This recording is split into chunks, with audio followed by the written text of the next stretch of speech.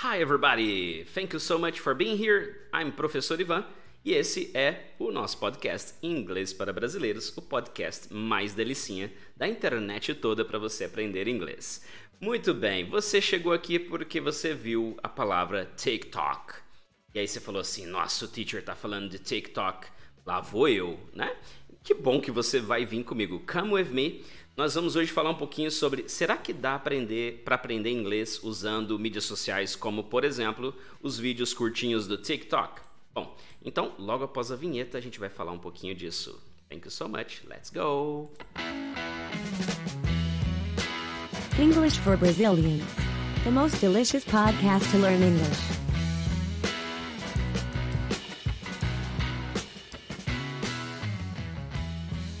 Alright, é isso aí, meu povo. Você deve usar aí sua mídia social e você, com certeza, se você me achou, é porque você achou um monte de gente que fala, ensina inglês nesse mundão todo. E parabéns, se você é uma dessas pessoas que ensina. Gente, ensinar é uma, é uma delícia, né? Eu adoro ensinar, né? Tanto é que o nosso podcast, o, o Inglês pra, para Brasileiros, ele não é, não é monetizado, né? A gente faz o podcast é porque gosta de divulgar conteúdo, né? E aí, logicamente, né, a The Flash School nos patrocina, né? Então, se você quer ajudar o podcast, primeiro, acesse o nosso site theflashschool.com, ok? Veja lá os conteúdos do nosso site, o blog, as postagens, conheça bastante sobre a nossa escola, veja nossos cursos, inclusive, que estão lá em vídeo, né? E venha ser nosso aluno. Então é isso aí, vem ser aluno The Flash. Então, você que já conhece, já está acostumado, né? Só não sei por que você ainda não veio ainda estudar com a gente. Mas se você está ouvindo aí pela primeira vez ou me assistindo, olhando olho no olho, o Vitinho no Vitinho aqui, você então vai vir uma hora estudar inglês com a gente, tá bom? Eu espero muito ter vaga, ter horário para conseguir encaixar você dentro da minha agenda, tá bom? E vocês de fora do Brasil, hein? Então a gente tem alunos aí fora do Brasil, os brasileiros pelo mundão todo, vem fazer inglês com a gente, sai muito mais barato, você sabe disso, né? E aprende rápido porque você sabe que eu te entendo, né? Você fala assim, teacher, lá na minha terra a gente fala assim, assim, assado, e aqui, como é que eu vou falar isso aqui em Miami? E aí, beleza, eu te entendo, né? Se eu for perguntar para um gringo, hey, how do you say uh, mandioca? Ele, talvez ele não entenda nada do que você falou, exceto o que realmente está em inglês, tá bom? Então, incentivo dado. Bora lá então falar um pouquinho sobre uh, TikTok. Tá. onde surgiu esse assunto de querer vir falar disso para vocês? Talvez você veio porque você ouviu, assistiu o outro episódio nosso falando sobre palavras com ish no inglês. Se não viu, vai lá assistir esse episódio, você vai gostar bastante. Escuta lá. Então, foi por quê? Né? Logicamente, eu querendo criar conteúdo para vocês, querendo fazer coisas legais e falar um pouquinho sobre um, esse universo todo do inglês, que é tão gostoso, legal, né? Eu falei assim, será que TikTok é um caminho para nós? Será que a gente deveria investir tempo gravando conteúdo para galera?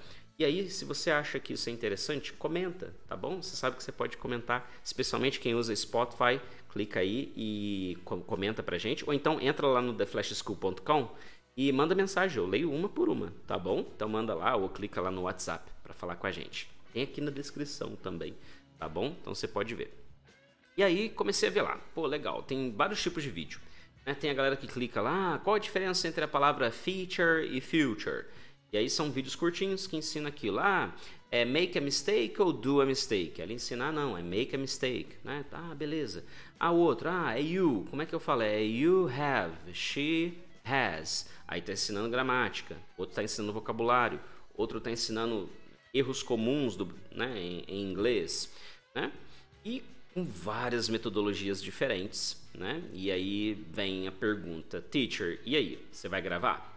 Não sei. Talvez, se vocês quiserem, eu grave para vocês. Tá bom? A gente tem algum conteúdo que a gente deixou pronto aí, a gente está vendo se a gente vai colocar ou não para vocês. Ou talvez quando você estiver ouvindo, você fala, Teacher, eu já vi seu TikTok. Ah, que legal. Que bom que você viu então, se esse for o caso. Então, se você é do futuro e voltou para o passado e quer me contar, entra lá e comenta. Tá bom? Agora deu um nó no cérebro, né? Oh my God! É isso aí. Bom, gente, aí eu analisei. E aí a gente estudou, pedagogia, letras, É, no meu caso, neurolinguística, programação neurolinguística é uma coisa que eu gosto muito, que é, é o que me ajuda a ensinar vocês de maneira memorável, né? Especialmente nas aulas, durante as aulas, né? Seja presencial ou online. E aí eu falei assim, gente, como que isso aqui faz sentido, tá? E aí, se você gostou do tópico, eu acho que é interessante você me ouvir até o final, tá bom? Lembra, eu sempre falo, não, não gaste tempo com coisas que não são interessantes, mas se você gostou até aqui, eu acho que você deveria ficar até o final, tá bom? Então, vem comigo, vem comigo que a gente vai fazer algo junto, tá bom? Vai ser bem legal. Então, olha só, qual que é uma das situações que eu vejo, e gente, né, não existe, tem hora que não existe resposta certa ou errada, tá bom? Se você é teacher também, né, e me escuta, então você tem a sua opinião, compartilha comigo, vamos, vamos ver, né, o que, que o pessoal pensa disso tudo, né? E aí eu falei, poxa, que interessante, né? Na realidade, você tem uma, um, um grande conteúdo, muito conteúdo, picado, certo? E aí você tem, como eu falei para vocês, você tem aqui, ó, a pessoa fala assim, ó, é, eu vou falar a frase em azul, você fala que tá em vermelha e tal, tem, ah, ó, é, cinco perguntas em 60 segundos e não sei o que tal, eu tô aqui com a tela até aberta aqui, vendo algumas coisas, né? Gente, tem muita coisa, muita coisa, né? Só que é tudo picado, Tá bom? E aí existe o seguinte: nós estamos numa geração, e aí você há de concordar comigo, em que a gente consome muita coisa picada. Se você é amante de livros, if you love books, congratulations, ok? Parabéns, continue lendo seus livros, tá? Eu queria ler mais, né? É uma coisa que eu gostaria muito de ter mais tempo para ler mais livros, né? É, mas o que acontece? A gente consome muita coisa picada. Você vê a notícia, você vê ela resumida numa foto. Talvez você clique na legenda. Aí lá na legenda diz: leia o post completo aqui. Talvez você clique no site, talvez você acesse para conseguir ler o conteúdo completo. Muito provavelmente não, porque a gente quer consumir, né? seja conscientemente ou não, uma renca de conteúdo. Quando se trata de inglês, aí eu acho um pouco complicado. Eu falo, gente, que legal, né? Não tem algo novo que você fala assim, ah, o Teacher Van vai criar algo novo. Gente, tudo lá, né? E aí a questão é, mas como que o cérebro interpreta essa informação? Como é que ela passa por dentro da sua cabeça? Né? Isso vai te ajudar a falar inglês melhor? Bom, se você quer assimilar vocabulário e isso funciona para você, eu acho que funciona muito bem. Funciona como um aplicativo tipo Duolingo e você vai assimilando um monte de coisa. Entendeu? Agora imagina uma criança ela não consegue conversar com você, tá bom? Mas ela consegue falar assim, você fala para ela assim, porta, aí ela, door. Aí você fala janela, window. Aí você fala cavalo, horse. É, preto, black. E acontece muito disso. Talvez você já fez isso, né? É, eu também sou pai, então às vezes eu, posso já ter feito isso, né? Você fala assim, ai que legal, meu filho sabe os animais em inglês, né? E, e talvez ele saiba elephant, e, e na onde ele mora, que é o caso nosso aqui, gente, é, a última vez que eu vi um elephant foi num circo, quando isso ainda era permitido. Tá bom? Então, assim, é, ou seja, ele aprendeu uma palavra que dificilmente ele vai usar no dia a dia, ou pelo menos numa frase comum, tipo, gente, corre que lá vem o elefante, né? Run for your life because there comes the elephant. Então, beleza, aprendeu, é importante saber falar elephant, mas é útil? Me ajuda na minha entrevista de emprego? Me ajuda né, a conversar com alguém? Aí fazendo a pergunta, mas é retórica, você sabe que não. Né? Então são objetivos diferentes. Quer assimilar vocabulário? Quer ver curiosidades e tal? Poxa, vai lá e, e vai vendo esse tipo de conteúdo, vê quem você gosta de seguir. Então clica lá, curte e acompanha. Né? Agora, não, eu quero aprender inglês. Tá, então existem aí estruturas, existem coisas muito legais que você não vai aprender num vídeo de 30 segundos, nem em mil vídeos de 30 segundos.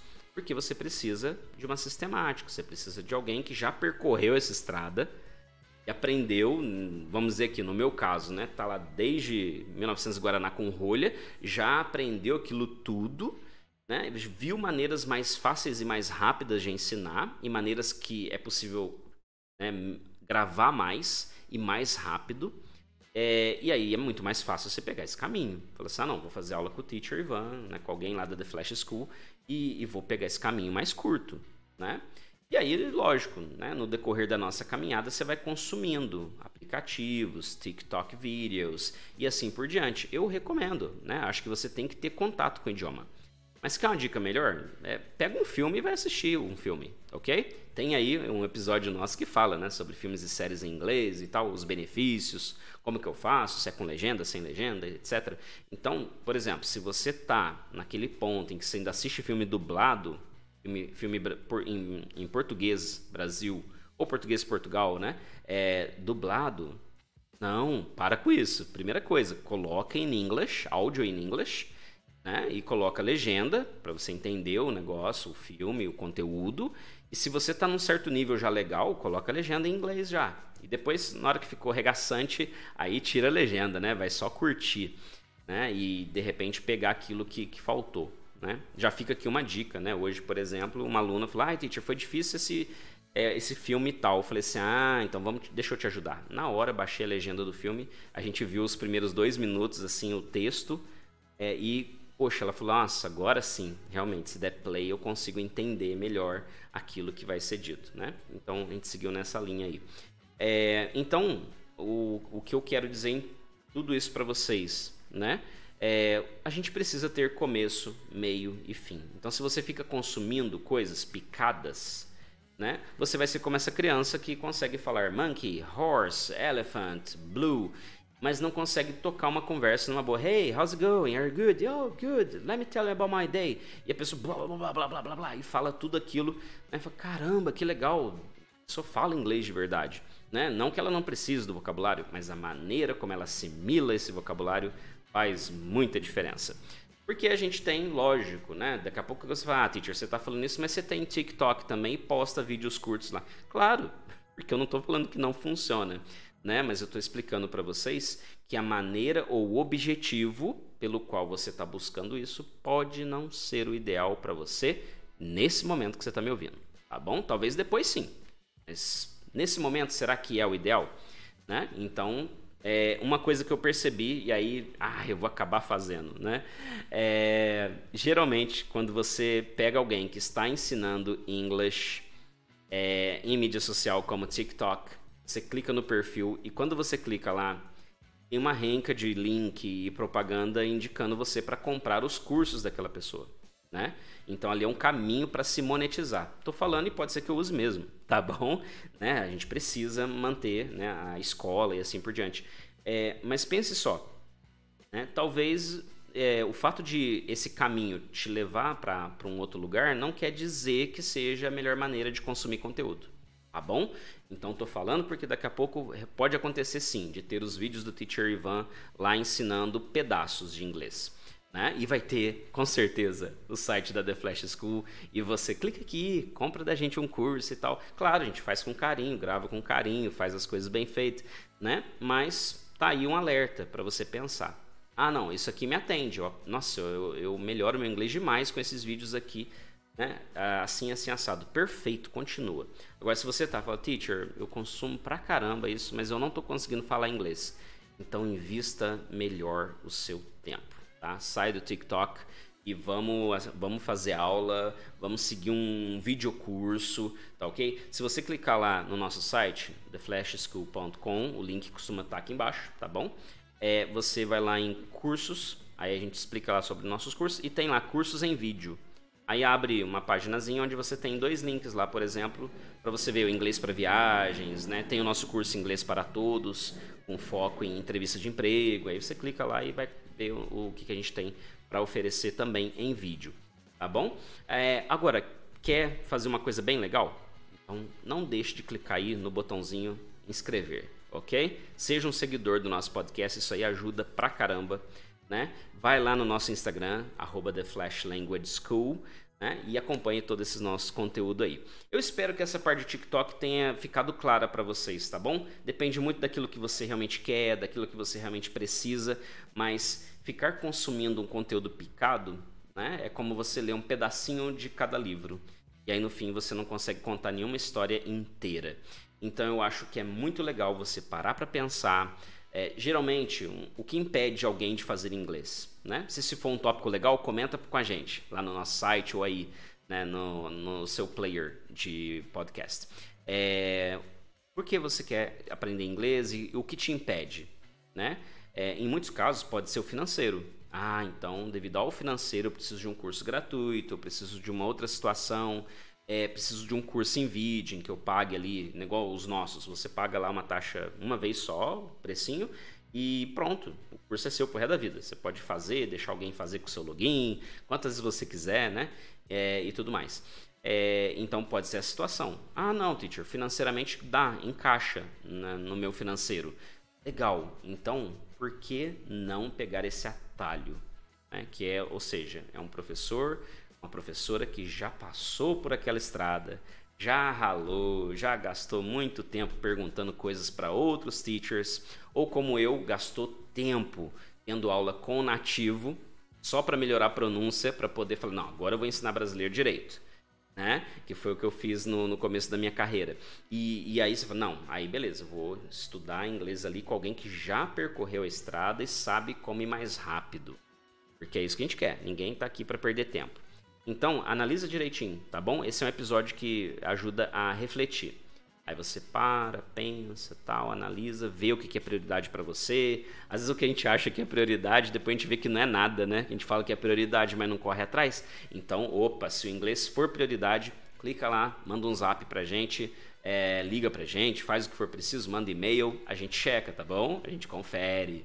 Então entra lá, manda e a gente vai ter prazer em atender vocês, tá bom? Bom, esse foi o episódio nosso aí de hoje. Será que dá para aprender inglês usando TikTok? Ah, você já agora já descobriu. Então, ouça mais conteúdos aí do inglês para brasileiros e vai ser sempre um prazerzão a gente trazer coisas novas para vocês aqui no nosso podcast, que você sabe é o mais gostosinho da internet. Você sabe disso. The most delicious podcast to learn English. Eu sou o professor Ivan, foi um prazer estar aí dentro da sua cabeça, no seu ouvidinho, e a gente se vê no próximo episódio. Take care and bye bye.